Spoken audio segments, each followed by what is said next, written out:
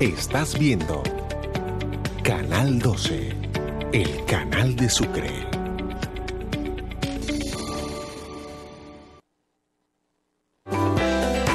A continuación, Telenoticias. Canal 12, el canal de Sucre. El siguiente programa es apto para toda la familia. Puede contener escenas de sexo y violencia moderadas. Se recomienda la compañía de un adulto responsable.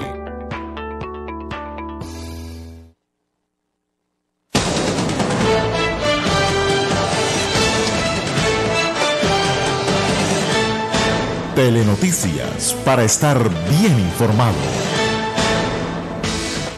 ¿Qué tal televidentes? Muy buenas tardes y bienvenidos nuevamente a la más completa información del Departamento de Sucre. Les recuerdo es Telenoticias Mediodía. Gracias por sintonizarnos a través de la señal de Clara Televisión y por supuesto de todas nuestras plataformas digitales.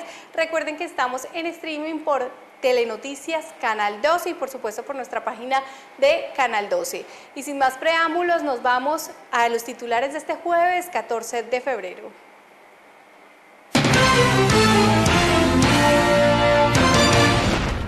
Habitantes del corregimiento de Chochó se muestran inconformes por el cambio de tarifas en servicio de energía.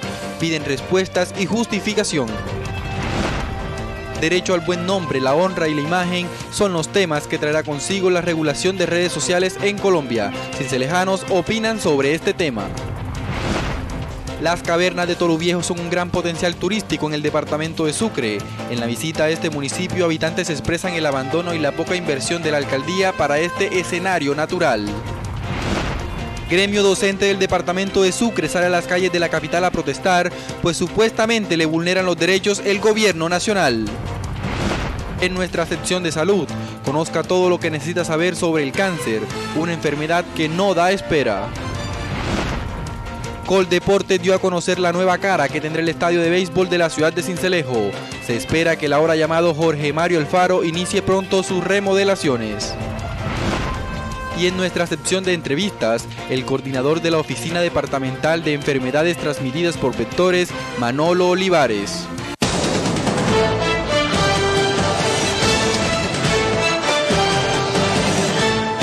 Telenoticias para estar bien informado. 12 y 33 iniciamos nuestra emisión de hoy con la marcha de los docentes quienes sienten que el gobierno nacional les vulneró los derechos. Estuvimos acompañando la movilización que se efectuó en horas de la mañana. En horas de la mañana se efectuó la marcha de los maestros que busca que hoy no se apruebe el plan de desarrollo propuesto por el gobierno de Iván Duque. Me encuentro con el presidente Díaz Odes, quien nos va a comentar por qué se está realizando esta protesta en este momento en la capital sucreña. Bueno, inicialmente estamos marchando todos los maestros de Colombia rechazando la pésima prestación de servicios de salud que tiene el magisterio. Estamos marchando también en contra del plan de desarrollo del presidente Iván Duque, que tiene, por ejemplo, la, aprobación de, la, de las licencias de la minería express. ¿Qué quiere decir eso? Entregar a las multinacionales, sin el control del Congreso, nuestros páramos, nuestros recursos naturales. De la misma forma estamos marchando rechazando el asesinato de líderes sociales en Colombia. Estamos eh, también marchando eh, en contra de la pésima prestación de los del servicio de energía eh, en el territorio nacional, principalmente acá en la costa con el tema del Electricaribe que acabó con los subsidios retrato 1, 2 y 3. Bueno, ¿cómo está la educación aquí en la capital sucreña? ¿Qué tal las escuelas de acá del, del municipio y de los corregimientos? Bueno, históricamente nosotros siempre recibimos el nuevo año escolar con muchas deficiencias. En Cincelejo hay instituciones educativas con unas precarias plantas físicas. ¿Qué quiere decir eso? Unos salones que no reúnen las condiciones, eh, sin abanico, sin aire acondicionado. Fuera de eso, nuestros estudiantes carecen de, material didáctico para desarrollar su tarea pedagógica. Se trabaja de una forma muy precaria en algunas instituciones educativas del municipio de Cincelejo. Eh, la zona corregimental, las vías que, que comunican están en pésimo estado. Nuestros educadores tienen que hacer periprecias para eh, trasladarse al lugar de trabajo. Bueno, el plan de desarrollo le va a dar facultades extraordinarias según lo que ustedes describen. ¿Cuáles son esas facultades que le da al presidente? Entre una de esas facultades, fusionar a las entidades públicas, eh, eh, los cargos del Estado también, crear y quitar cargos del Estado. Eso estamos viendo nosotros de que es una, eh, una propuesta para generar más mermelada en, el gobierno del presidente Iván Duque. Bueno, esta es toda la información que se está generando en este momento en las marchas. Para la tarde de hoy también se convocó una marcha por parte de los mototaxis y los vendedores ambulantes que quieren protestar y exigir porque haya un empleo formal para todos. Telenoticias para estar bien informado.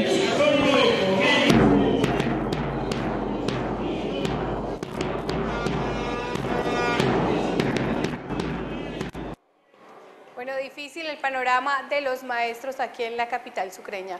Por otra parte, los habitantes del corregimiento de Chochó demuestran su inconformidad por los cambios tarifarios del servicio de agua en esta área rural.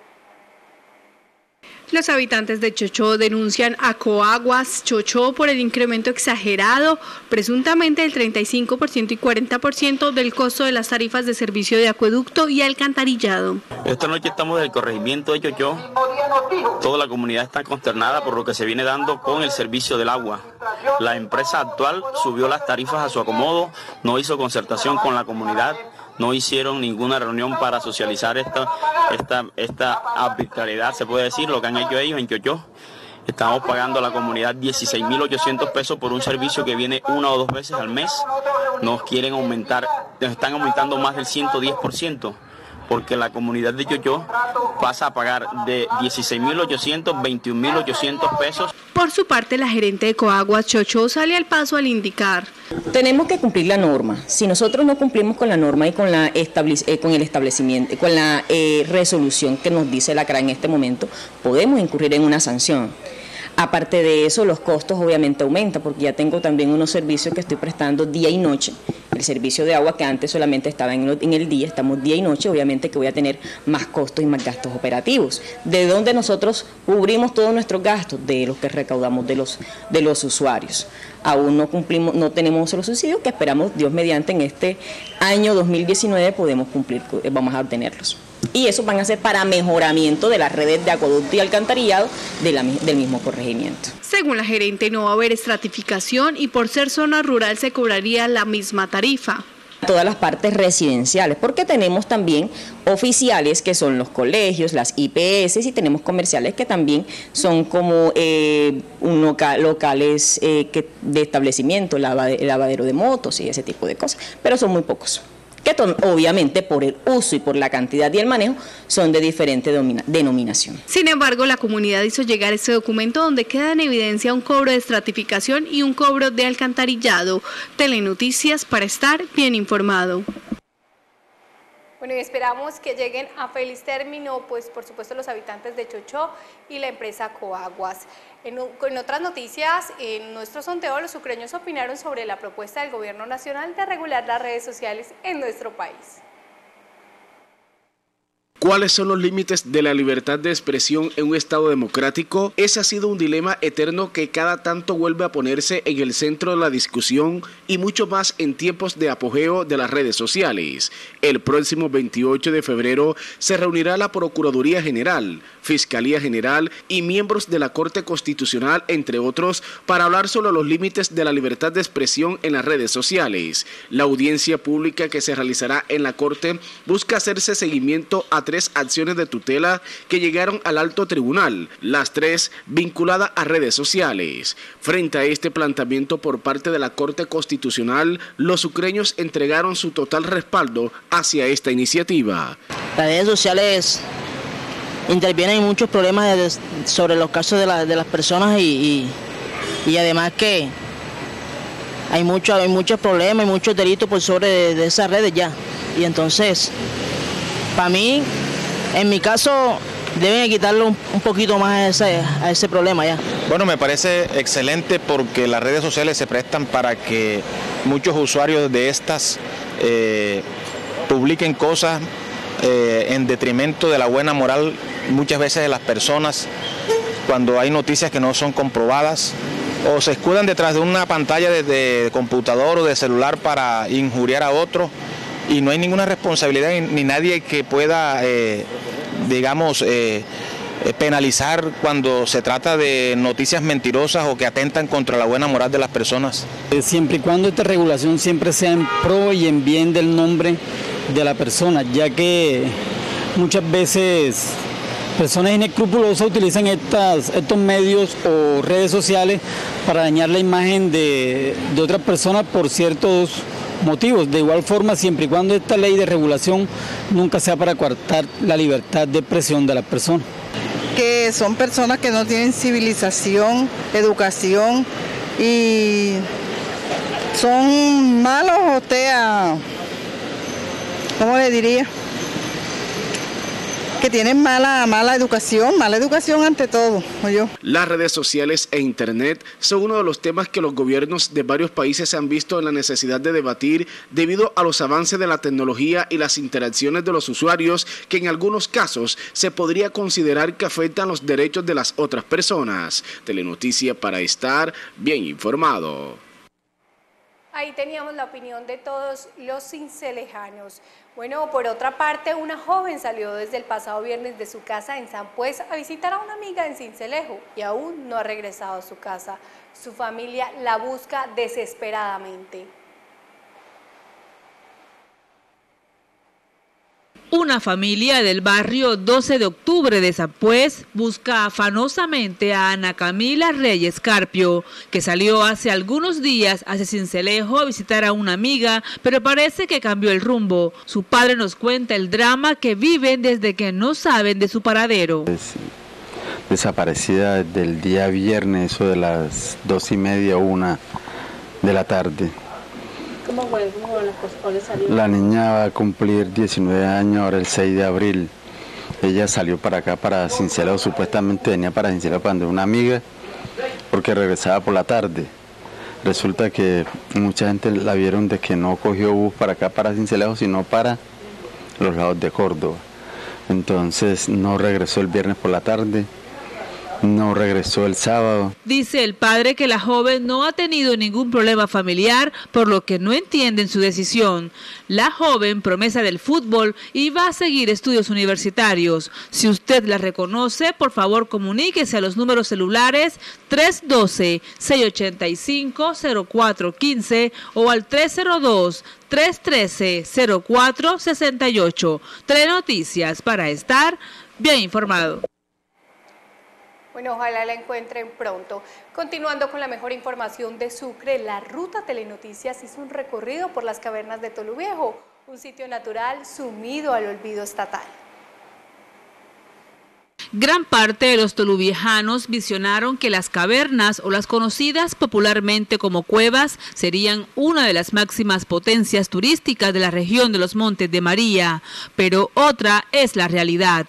Algunos habitantes de esta región consideran que gran parte de este retroceso en el impulso de las cavernas se debe a las malas elecciones en las urnas. El flujo de turismo es muy lento. ¿Por qué? Porque no tenemos, primero que todo, no tenemos ayuda de la administración.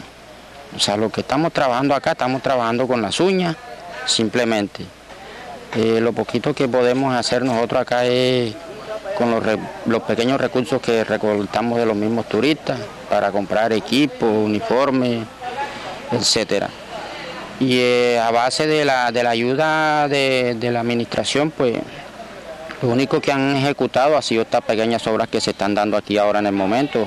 Esta ecoparque que se ejecutó hace aproximadamente unos ocho años y ahora para el fin de año lo, nuevamente lo, reconstruyeron, porque es una obra que, que se necesita. Es tal el abandono estatal que poco a poco las cavernas se han convertido en nicho de consumidores de alucinógenos.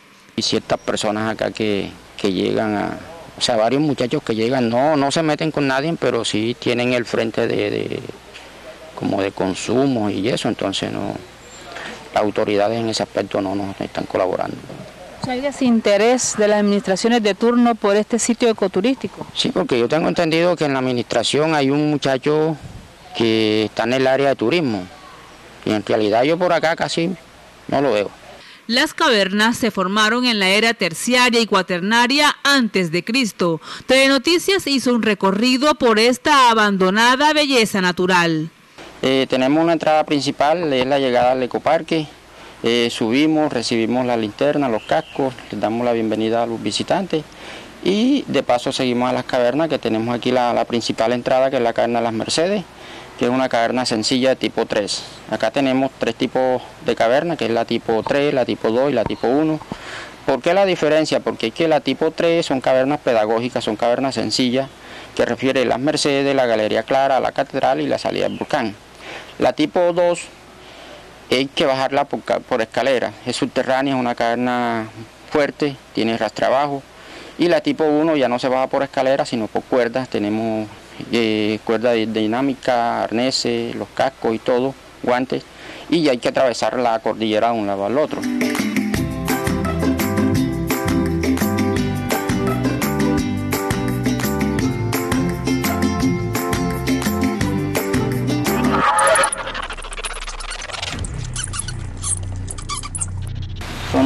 Los tipos de murciélagos que habitan acá, dentro de las cavernas. Como podemos mirar, mira hacia adelante la cantidad que se ve. A medida que ellos sienten nuestra presencia y comenzamos a alumbrarle, ellos comienzan a, aislarse, a retirarse del área, dejando el, el área libre. Mira hacia el fondo. Están formadas aproximadamente 65 millones de años, cuando todo esto hacía parte de la era terciaria, principios de la era cuaternaria. Te quiero decir, eh, cuando todo esto, yo te menciono la era terciaria, era que todo esto estaba bañado por el mar, o sea que el mar llegaba hasta acá. Hubieron unos movimientos tectónicos donde se parte la placa, donde comienzan a, a moverse las aguas, comienza el retroceso del mar, el mar comienza a retirarse y hay un levantamiento de terreno. Acá comienza a levantarse y en todo el Golfo Morroquillo el terreno lo que hace es bajar, por eso el mar se retira quedando hasta una altura de 85 metros sobre el nivel del mar, que es lo que estamos a 18 kilómetros de acá, y así quedan las cavernas al aire libre. Sí, que son secreciones formadas por las aguas lluvias en tiempo de invierno, como son las estalactitas, las estalagmitas, las rías, las cortinas, las gualas, las dolomitas, las dolinas, etcétera. Son una cantidad de, de porosidades y formaciones cónicas que se dan en la roca, en el techo y en la pared de la caverna por medio de las aguas lluvias en tiempo de invierno. O sea que si tú vienes acá en invierno, ahora que comienza el invierno, vuelven por acá, todo esto está destilando agua, está filtrando y está destilando agua, las cuales están arrastrando la sedimentación y van a darle crecimiento a una estalactita, el cual demora un centímetro 5 o 10 años por crecer. Yo la llamo la Galería Murciélago. Galería Murciélago, ¿por qué se llama así? Eh, galería por el espacio que es amplio, alto y es donde se exhiben, un salón donde se exhiben muchas cosas. En este espacio, galería, por, el, por lo que te digo, y murciélago porque si llega a 6 de la mañana o 6 de la tarde vas a encontrar 2.000, 3.000 murciélagos aquí exhibiéndose, de, los de las dos especies, de la especie frugívora y insectívora.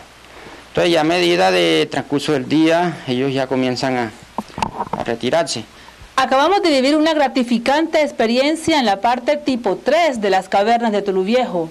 Los habitantes de esta localidad se preguntan por qué hay tanto desinterés de la autoridad local, departamental y nacional de potencializar este punto ecoturístico de la región cercana a la vía al mar. Los nombres de las cavernas se originan por sus formaciones esculpidas en la roca por la naturaleza con el paso de los siglos o en honor a misioneros. Tres noticias para estar bien informado.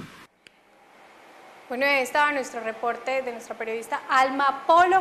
Yo quiero saludar a muchas personas que nos escriben a través de nuestra fanpage Telenoticias Canal 12, a Javier Donado en sintonía desde Barranquilla y por supuesto a Jorge Luis Madera que también nos saluda desde Tolú. Bueno, y yo ahorita los voy a dejar con las noticias regionales.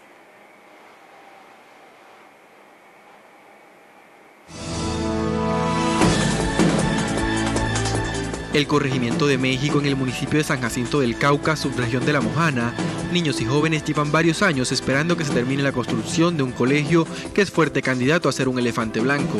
Para comenzar la entre comillas mega obra, tuvieron que demoler el antiguo colegio. Ahora, ni colegio nuevo ni viejo. Mientras tanto, la comunidad exige algunos albergues para poder dar clases en condiciones dignas, pero las respuestas de las autoridades locales y departamentales siguen siendo nulas. La comunidad en general se encuentra consternada con esta situación donde expresan sentirse vulnerados, además de haberle violado el derecho a la educación. En un desastroso hecho de violencia contra los animales, autoridades investigan al responsable de agredir con un machete a dos perros en el municipio de San Jacinto Bolívar, su región de los Montes de María. El inescrupuloso hecho ocurrido en el barrio San Miguel de este municipio despertó a la comunidad y rechazó rotundamente este acto, momentos en que quisieron llamar a un veterinario para la atención de los caninos, ya era demasiado tarde.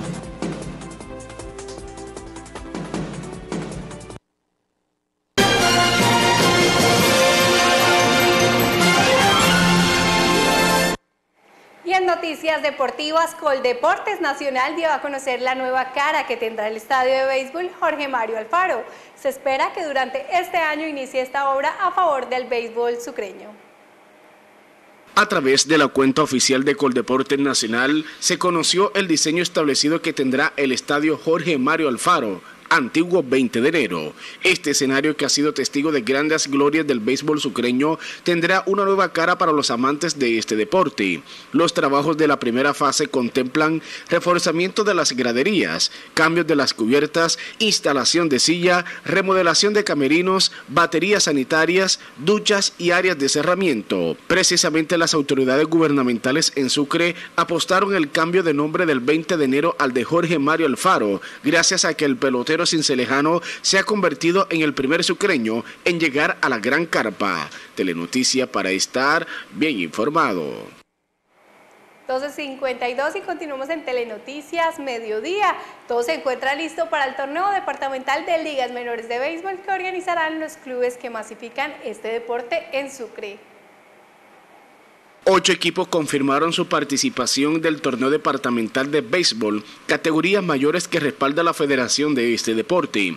Traviesos, Gigantes, Inquietos, Coveñas, Corozal y Tolú estarán presentes en dicho certamen competitivo. Los dos últimos años, el torneo de las categorías menores los organizó el Pony Baseball. En esta ocasión, los clubes acordaron ser los coordinadores de cada categoría. La comisión técnica definirá de cómo será la participación de los jugadores profesionales, ya que en el 2018, ya que el 2018 el tope fue de tres por cada novena. Este torneo tiene como objetivo respaldar los diferentes procesos de cada deportista y sobre todo masificar en cada club el deporte blanco. Telenoticia para estar bien informado. Bueno, gracias a Leo Mercado que siempre está muy pendiente de las noticias deportivas. Pero cambiando de tema en nuestra sesión de salud, todo lo que usted necesita saber acerca del cáncer, una enfermedad que no tiene espera.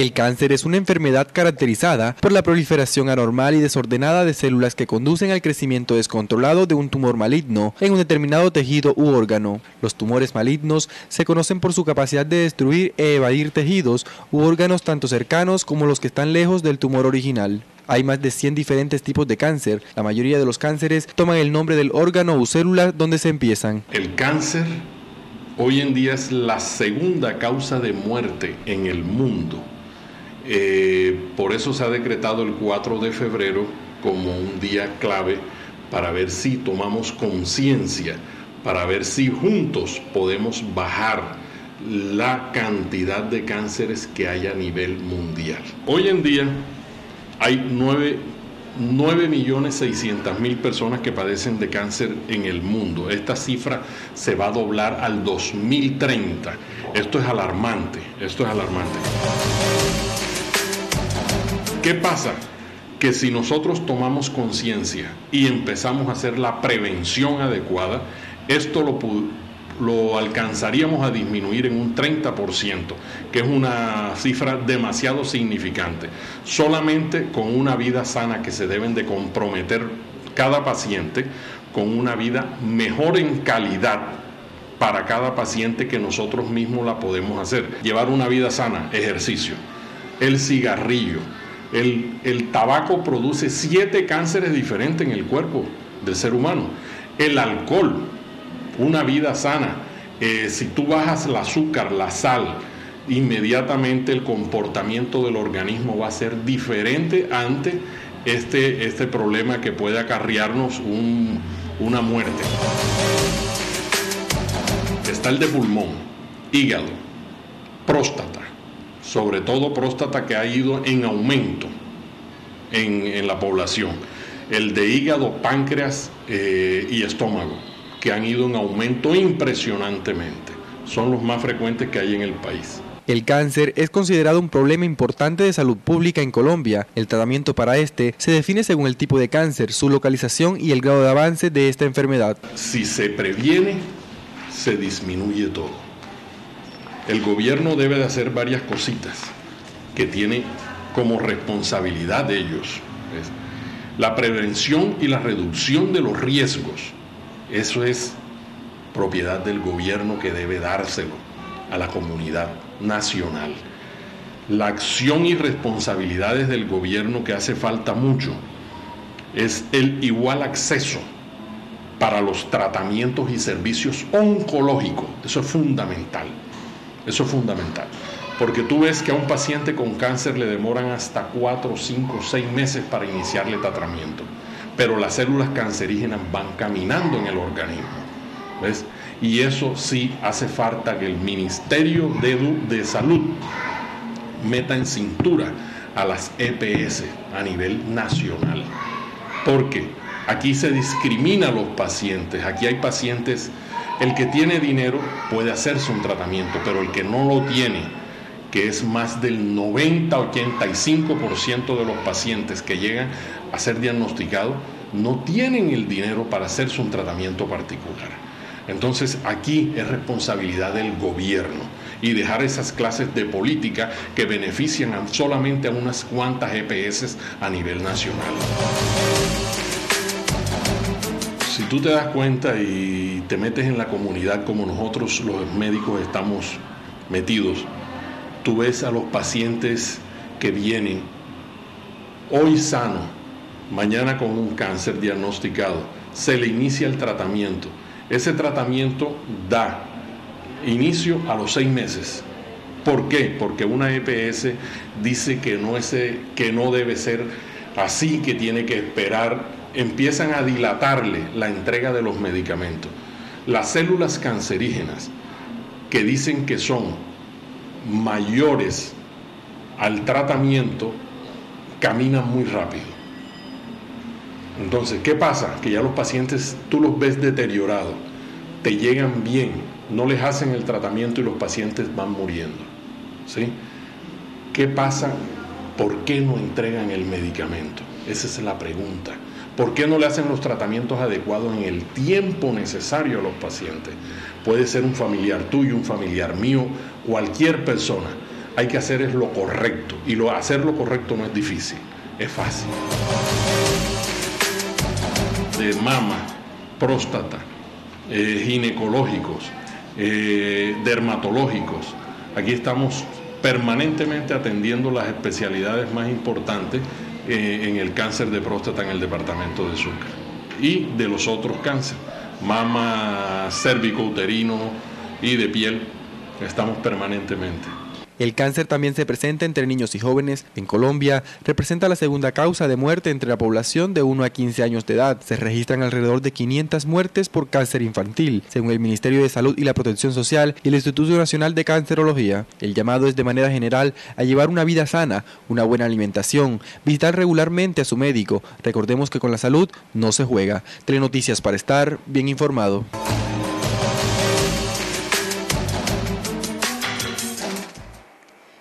Una en punto de la tarde, pero ya terminamos nuestro primer bloque informativo. Sin embargo, ustedes no se pueden ir sin ver la entrevista en exclusiva de Sergio Berrío con Manolo Olivares, el coordinador de la Oficina de Enfermedades transmitida por vectores de la Secretaría del Departamento. Así que eso sucederá en unos minutos.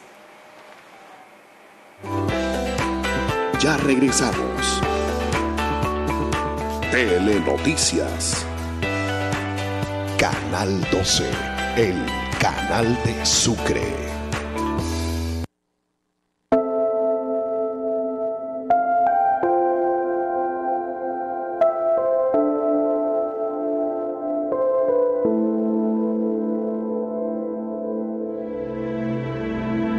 Una campaña del Canal 12, el canal de Sucre. Canal 12, aliado a Claro Televisión. Sintonízanos en la señal digital Canal 104 y en la señal análoga Canal 6. Somos el canal de Sucre con más de 20 años de servicio. Nuestros programas están producidos con los altos estándares de calidad. Visita nuestras redes sociales, Facebook, YouTube, Instagram, Twitter. Estamos ubicados en el sector centro de la ciudad, calle 23, número 1636, segundo piso. Contáctanos al 301 504-1735 o al 276-5573. Canal 12, el canal de Sucre.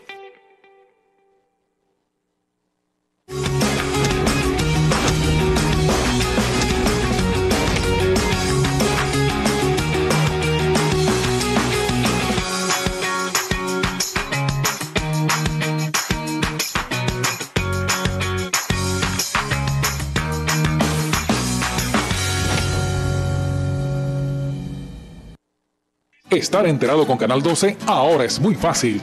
Todo desde tu teléfono móvil. Ingresa ya a Play Store y descarga nuestra aplicación, en la cual podrás disfrutar de nuestra programación, interactuar con nosotros y mantenerte informado de todo lo que sucede. Canal 12, el canal de Sucre. Canal 12, aliado a Claro Televisión. Sintonízanos en la señal digital Canal 104 y en la señal análoga Canal 6. Somos el canal de Sucre con más de 20 años de servicio. Nuestros programas están producidos con los altos estándares de calidad. Visita nuestras redes sociales, Facebook, YouTube, Instagram, Twitter. Estamos ubicados en el sector centro de la ciudad, calle 23, número 1636, segundo piso. Contáctanos al 301 504-1735 o al 276-5573. Canal 12, el canal de Sucre.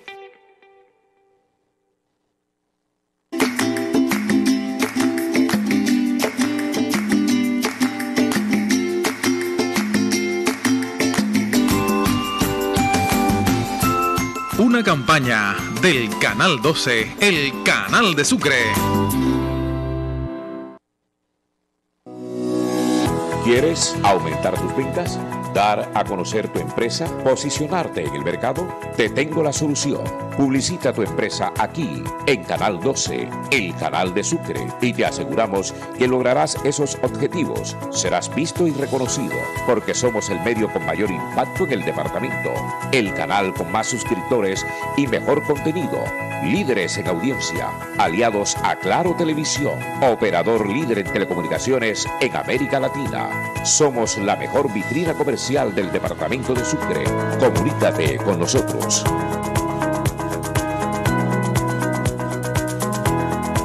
Canal 12, el canal de Sucre.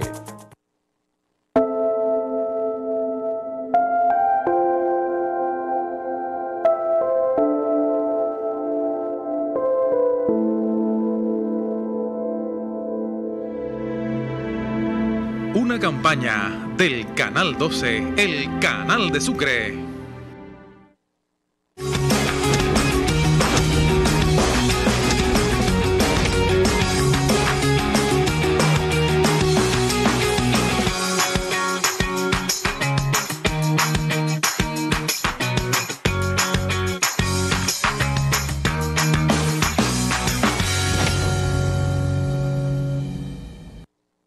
Estar enterado con Canal 12 ahora es muy fácil.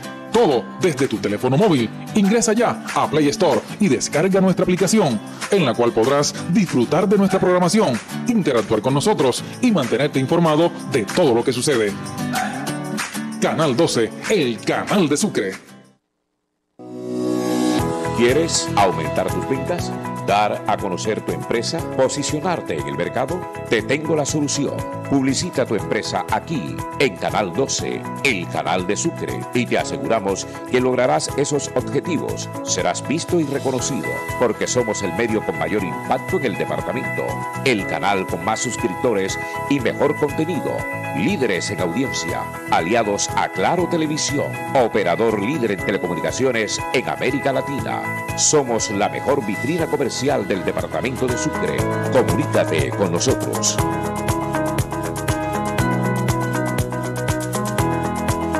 Canal 12, el canal de Sucre.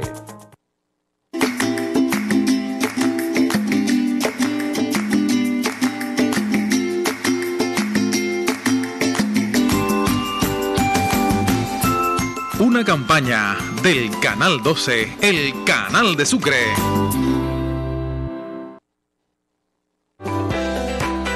Continuamos con Telenoticias.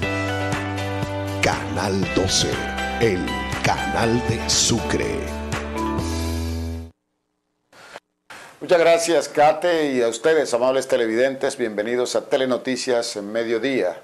Hoy en nuestra sesión de entrevistas hemos invitado a Manolo Olivares Martínez, el responsable de enfermedades transmitidas por vectores de la Secretaría de Salud Departamental.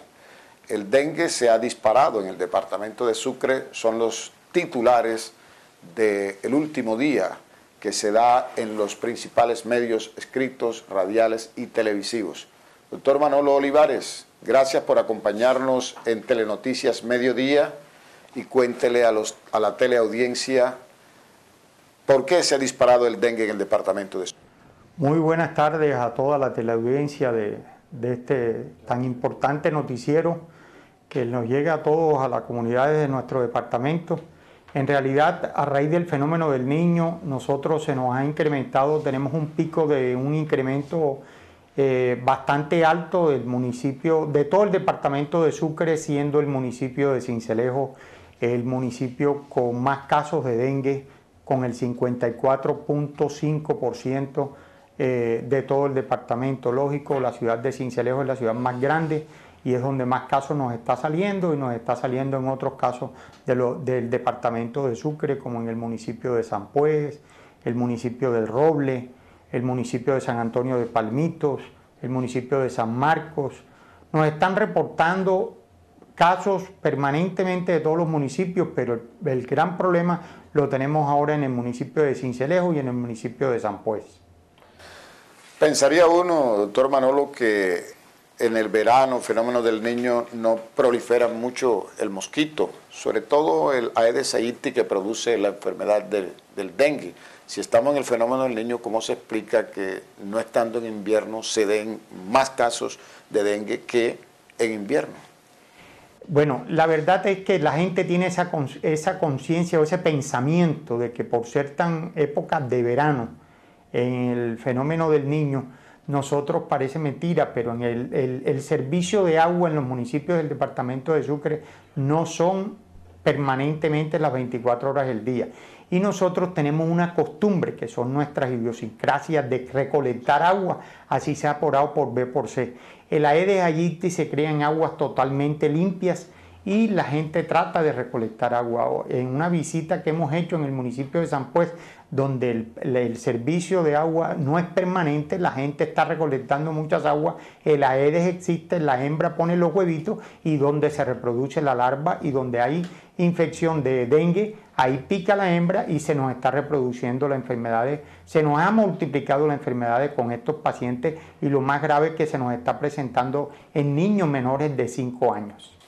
O sea que la recolección del agua es un factor que amplía el número de estos casos en el departamento de Sucre. Aumenta. La no servicio de agua, la recolección del agua totalmente limpia, es donde nosotros aumentamos la recolección, pero no tomamos las medidas preventivas que tenemos que hacer. Aunque nosotros tenemos unos tanques en nuestras casas, debemos taparlos.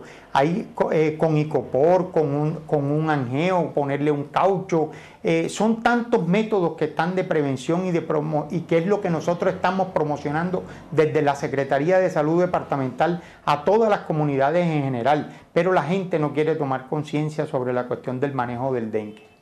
En estos momentos el municipio capital, por ser el mayor número de, tener el mayor número de habitantes, presenta el mayor número de casos, pero se dan casos en corregimientos que en otros años, como en la arena, no eran tan eh, eh, pronunciado el pico para el, el dengue. Sí, en municipio de Cincelejo, en la cabecera municipal es donde nos están saliendo los casos. Gracias a Dios la gente de los corregimientos, donde tiene bastantes dificultades de almacenamiento de agua y de la recolección de agua, porque tenemos corregimientos del municipio de Cincelejo, como es el 5, como el 5 y como es eh, Cruz del Beque, que se les está agotando ya los, los estancos de agua que tienen y la gente está ya agobiada por eso. Entonces están llevando carro tanques, pero los están comprando en tanques y los están tapando gracias a Dios, y no, no, se nos están presentando en los corregimientos del municipio de Cincelejo casos de dengue. La problemática la tenemos en la cabecera municipal y en los demás municipios del departamento que mencioné antes. Pero se había anunciado unos casos puntuales en la arena. ¿Ya eso pasó? No, ya pasó. Nosotros no tenemos reporte del corregimiento de la arena del municipio de Cincelejo, sino en el municipio de Cincelejo, cabecera municipal, es donde nos están saliendo los casos. En años anteriores, ¿cuáles eran los municipios del departamento de Sucre que a mayor caso de dengue reportaban? Teníamos un silencio epidemiológico y por casos que no se nos habían presentado ni año 2018, ni 2017, ni 2016. Tuvimos un pico en el 2015 y este año 2019 a raíz del fenómeno del niño, esos son unos picos intermitentes que se nos presentan cada 3, 4 años. En el año 2010 tuvimos un pico bastante alto donde tuvimos a nivel nacional una alerta, igual que la alerta que acaba de lanzar el ministro de Salud a nivel nacional sobre cómo prevenir el dengue y cómo cortarle las alas al dengue ¿Por qué? ¿Cómo es cortarle las alas al dengue? No tener criaderos de mosquitos, lavar los tanques periódicamente para así no tener los criaderos eh, de, en aguas limpias de la Aedes aegypti, que es el que transmite el dengue hemorrágico. Este mosquito, el Aedes aegypti, pues se había comentado en años anteriores que se ha hecho resistente a los químicos que se utilizan para destruir las larvas.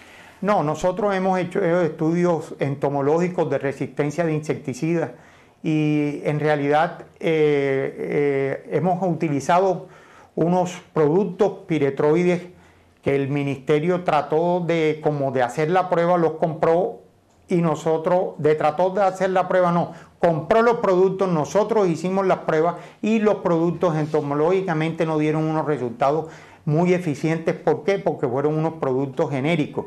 En realidad nosotros en la última reunión de coordinadores de ETV en Villavicencio, nosotros llegamos a la conclusión de que no podemos comprar productos genéricos y decirle a los secretarios y a nuestros mandatarios, a nuestros gobernadores, no compran productos genéricos, sino con productos de casas comerciales que solo los distribuidores en Colombia hay uno o dos solamente, como están los productos de Bayer, los productos del malatión, de que en realidad se utiliza, que todavía la gente dice que son los órganos fosforados, que esos son productos que son eficientes al 100%.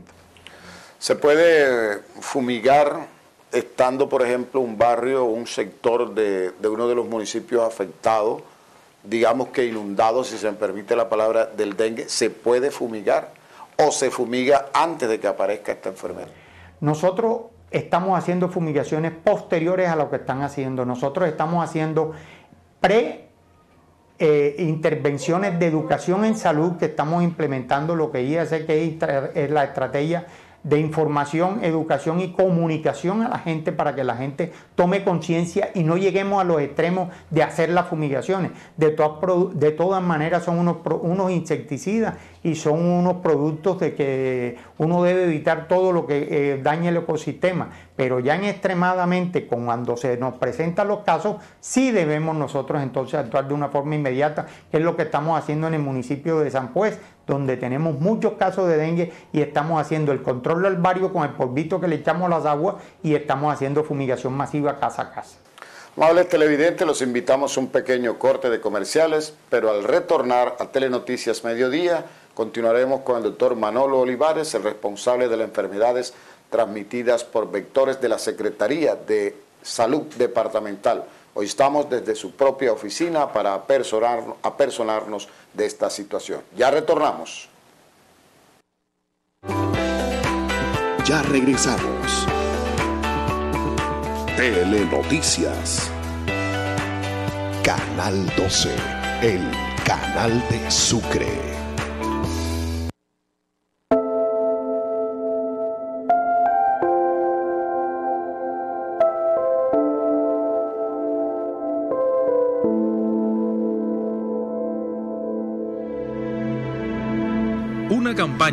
Del Canal 12, el canal de Sucre.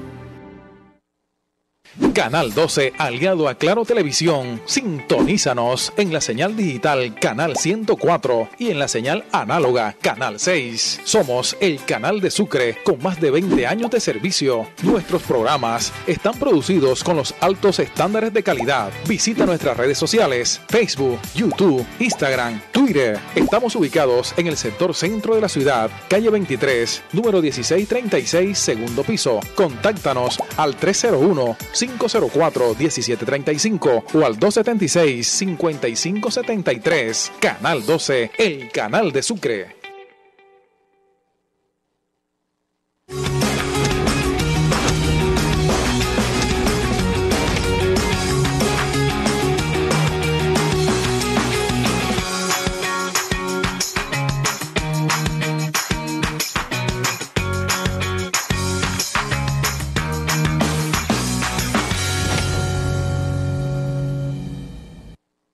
Estar enterado con Canal 12 ahora es muy fácil. Todo desde tu teléfono móvil. Ingresa ya a Play Store y descarga nuestra aplicación, en la cual podrás disfrutar de nuestra programación, interactuar con nosotros y mantenerte informado de todo lo que sucede. Canal 12, el canal de Sucre. Canal 12, aliado a Claro Televisión. Sintonízanos en la señal digital Canal 104 y en la señal análoga Canal 6. Somos el canal de Sucre con más de 20 años de servicio. Nuestros programas están producidos con los altos estándares de calidad. Visita nuestras redes sociales, Facebook, YouTube, Instagram, Twitter. Estamos ubicados en el sector centro de la ciudad, calle 23, número 1636, segundo piso. Contáctanos al 301 504-1735 o al 276-5573. Canal 12, el canal de Sucre.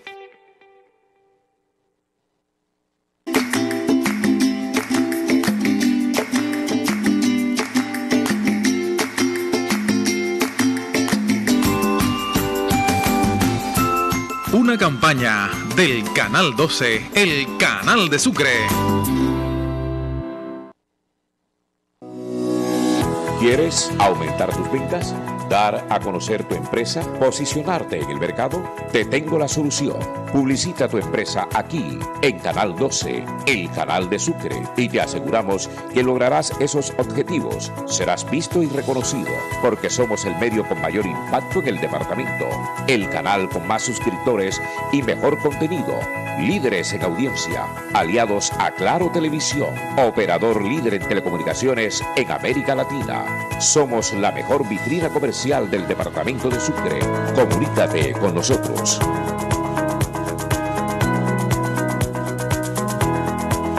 Canal 12, el canal de Sucre.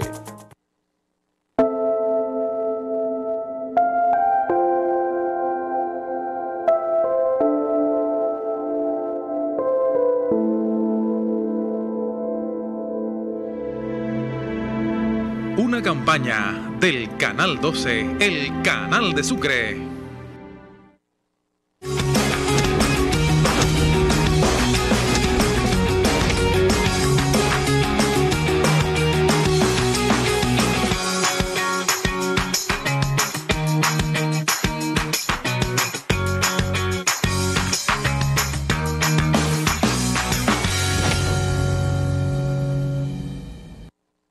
Estar enterado con Canal 12 ahora es muy fácil.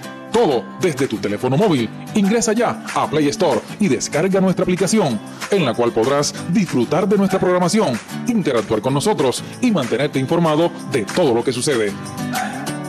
Canal 12, el canal de Sucre. ¿Quieres aumentar tus ventas? dar a conocer tu empresa, posicionarte en el mercado? Te tengo la solución. Publicita tu empresa aquí, en Canal 12, el canal de Sucre, y te aseguramos que lograrás esos objetivos. Serás visto y reconocido, porque somos el medio con mayor impacto en el departamento, el canal con más suscriptores y mejor contenido, líderes en audiencia, aliados a Claro Televisión, operador líder en telecomunicaciones en América Latina. Somos la mejor vitrina comercial del Departamento de Sucre. Comunícate con nosotros.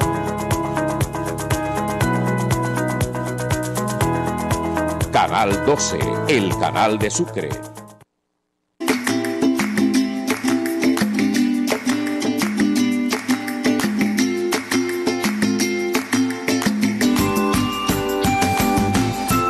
Una campaña del Canal 12, el canal de Sucre.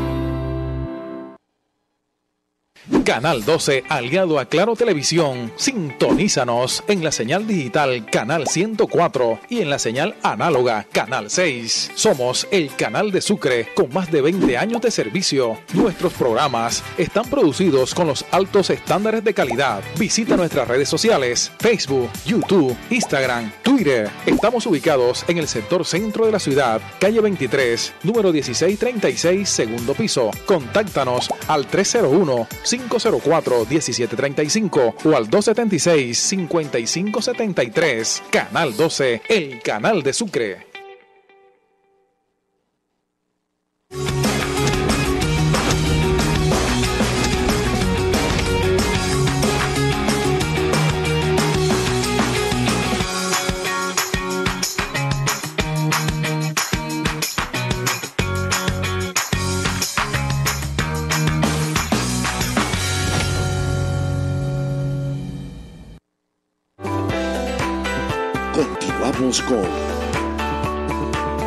Telenoticias. Canal 12, el canal de Sucre. Retornamos a Telenoticias Mediodía. Estamos con el doctor Manolo Olivares en este set de entrevistas hablando sobre el dengue que se ha disparado en el departamento de Sucre. Doctor Manolo, antes de la entrevista retornó usted del municipio de San Pues y en las horas de esta tarde va a regresar. ¿Qué actividades van a realizar concretamente? Eh, estamos concretando una reunión. Eh, tenemos una mesa de trabajo con la Secretaría de Salud departamental y con la Secretaría de Salud municipal para en el día de mañana viernes hacer una, una reunión con todos los actores de que nos ayudan, que están involucrados y que nos pueden ayudar en este problema que tiene el municipio de San Pues mañana a las ocho y media de la mañana, con todos los coordinadores de las EPS que trabajan, eh, que están vinculados al municipio de San Pues, como Defensa Civil, los rectores de los colegios, eh, enfermera, el gerente del centro de salud, eh, la parte toda educativa de todo, de el municipio para que en realidad le lleguemos y le transmitemos esto a los estudiantes de todos los colegios de, de San Pues para que en realidad ellos sean multiplicadores de la información, de que en realidad evitemos los criaderos de la Aedes aegypti en agua totalmente limpia, que tapemos estos tanques, que lavemos los tanques periódicamente, aunque el servicio de agua no sea totalmente al 100%, que lo que, lo que podamos recoger de aguas limpias lo tapemos y así no tenemos criaderos de la Aedes aegypti. ¿Cuántos casos concretos encontraron en San Pues o han reportado? En reportado por vigilancia llevamos 18 con la depuración que se hizo, pero eh, últimamente se nos han salido unos casos más que fueron cuatro casos, que tenemos cinco casos, tenemos en esta semana que eso entran a vigilancia ya para la próxima semana, pero los estamos atendiendo, ya venían con una sintomatología clínica desde hace rato, tomaron la prueba en la, en las clínicas y salieron positivas por dengue y estamos trabajando sobre eso, trabajando sobre la comunidad, estamos dedicados al 100% de San Pues y estamos también dedicados tenemos uno de los eh, funcionarios, los tenemos también dedicados única y exclusivamente a los municipios restantes del departamento de Sucre. Síntomas de esta enfermedad. Los síntomas, fiebre, fiebre permanente, dolor en los huesos, dolor intraocular, y cuando se sienten así les pido no tomen, no se automediquen. Lo único que pueden tomar es acetaminofén, acudan al centro de salud más cercano que tengan, consulte con su médico, porque ya en realidad como tenemos se nos puede eh, eh, la enfermedad complicar y es mejor que sea tratado en un centro de salud más cercano. ¿El dengue se puede confundir con el chikungunya? Sí, nosotros el chikungunya nos entró hace unos años y el Zika también, pero tenemos ahora mismo esos arbovirus eh, desaparecieron y tenemos ahora mismo el dengue eh, que lo tenemos en, grave problema en todo, en todo Colombia, no decir en toda la costa atlántica, ni en Cincelejo, ni en Sucre, sino en todo Colombia. ¿Dónde se presentan más en Colombia? ¿En ciudades con alturas mm, sobre el nivel del mar o a nivel del mar? A nivel del mar, eh, ciudades que están bajo nivel del mar, el Aedes aegypti con el frío no vive, ellos viven en, tierra eh, de calor y en Cali también tienen un grave problema que es los sumideros y tienen problemas bastante, pero el grave problema de Colombia ahora mismo y la preocupación del Ministerio de Salud es costa atlántica donde nos están saliendo muchos casos de dengue. Departamento de Sucre por sus regiones, ¿dónde se da más? ¿La Sabana, Mojana, Golfo de Morrosquillo? Siempre la región del San Jorge es donde nos salen muchos más casos, pero ahora eh, hay que decirlo, la región de, la zona del San Jorge de los municipios del departamento de Sucre, pero siempre ha sido el municipio de Cincelejo donde más casos nos ha salido dengue, siempre permanentemente entre el 50, el 60, el 70% de los casos de dengue los tiene Cincelejo. Porque uno pensaría de que en la época de inundaciones de la Mojana deberían haber más casos, pero no. No, no, no se da el, criadero allí en, en no, El criadero en estos en estas, eh, municipios donde hay ciénegas cercanas se cría mucho el mosquito cule, que pica mucho, que a las 6 de la tarde es lo más engorroso del mundo y presenta problemas, pero ese nos transmite a nosotros la encefalitis equina, que gracias a Dios nosotros en esta zona no hay encefalitis equina, sino en, en todos los departamentos fronterizos con Venezuela, que es donde Venezuela sí hay encefalitis equina. Pero en estas aguas, que es de ciénega y aguas totalmente sucias y aguas hervidas que van a la ciénega, no se cría el Aedes aegypti. El Aedes aegypti nosotros siempre lo hemos llamado el mosquito elitista, se cría en aguas totalmente limpias. Ese no lo llamamos ni estrato 6, estrato 50 porque solamente la hembrita es la que pone y es la patica, el paticarrayá. Cuando vean un mosquito paticarrayá blanca, digan, este es la Aedes aegypti, este, debemos tener criaderos. Informémoslo a los vecinos y acabemos con esos criaderos de Aedes aegypti. Eh, usted decía que a las 6 de la tarde en las Ciénegas y en la subregión de la Mojana donde más sale el mosquito, ¿cómo se llama? El cule, ese mosquito. ese es el mismo ején. ¿No? No, el ején es otro. El ején es otro, es muy diminuto. El mosquito cule es un mosquito más grande, es mosquito de lo de, lo de la anófele, la ede. El, el, mosquito más grande es el cule y es el que pica más en esas horas de la tarde y es insoportable cuando comienza a salir o cuando comienzan a hacer a entrar las lluvias y comienzan a llenarse las ciénegas. Para terminar, doctor Manolo Olivares, las recomendaciones que siempre la Secretaría de Salud Departamental, especialmente la Oficina de Enfermedades Transmitidas por Vectores, le da a las comunidades. A las comunidades les digo honestamente, tomemos conciencia, pensemos un minuto. El Aedes aegypti es el mosquito que no tiene eh, conocimiento alguno de ni alcaldes, ni gobernadores, ni coordinadores de ETV, ni los hijos de los empleados de la Secretaría de Salud. Él pica a cualquiera persona. Evitemos los criaderos, lavemos los tanques periódicamente con cepillo, los que tengan eh, tanques de cemento, los que tengan eh, tanques plásticos, tápenlos, donde nosotros almacenemos agua limpia y veremos que nosotros mismos tenemos la solución en las manos para no tener criadero de Aedes aegypti y no se nos transmita el dengue, que el dengue es mortal si no lo tendemos a su debido tiempo. ¿Hace cuántos años le dio dengue usted? En el año 2008 me dio dengue. ¿Tenía los tanques sucios? Estuve en una visita en una epidemia que había en un corregimiento de Varsovia y me dio dengue, me picó en la Aedes y a los 15 días la sintomatología y dije, preciso, esto es un dengue y estuve bastante decaído, bastante con dolor en los huesos, pero gracias a Dios por conocedor de la enfermedad salí adelante. Doctor Manolo Olivares, gracias por estar con nosotros en Telenoticias Mediodía. Siempre día a todos los televidentes. A ustedes los invitamos para mañana viernes en otra sesión de entrevistas aquí en Telenoticias Mediodía.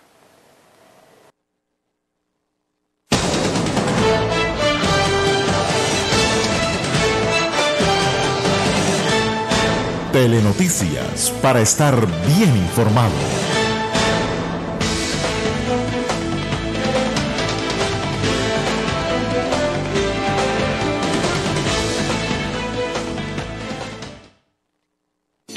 Estás viendo Canal 12, el canal de Sucre.